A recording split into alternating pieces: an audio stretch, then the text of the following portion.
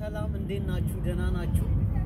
መጪው አዲሱ ዓመት 2013 የሰላም የፍቅር የብልጽግና እንዲሆንልን እንዲሆንላችሁ እመኛለሁ።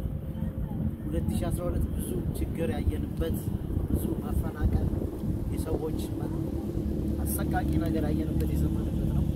ለ2013 ይህ እንዳይደገም በአንድነት ቆመን ዘረኝነትን አስወግደን ተጠይፈን በፍቅር አለብን። ኢትዮጵያችን አልጠበበችንም። ፕሊዝ አንድነት ነው የሚያሸንፈው፣ ፍቅር ነው የሚያሸንፈው። እንተሳሰብ፣ እንረዳዳ። በተለይ በሰው ሀገር በውጭ ሀገር የምትኖሩ ጽንፈኞች ድሃውን እዛ ውጭ የሚኖረውን ድሃ ባታባሉት እመክራችኋል።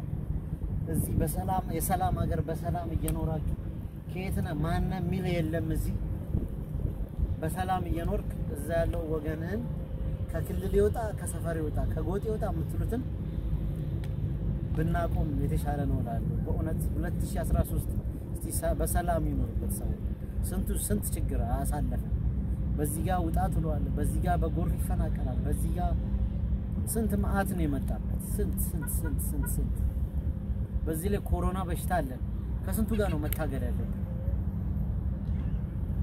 እግዚአብሔር ልቦና ይስጣችሁ። ሌላ ምን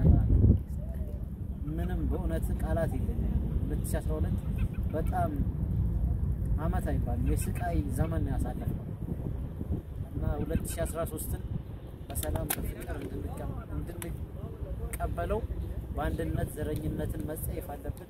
ዘረኝነቱ ደም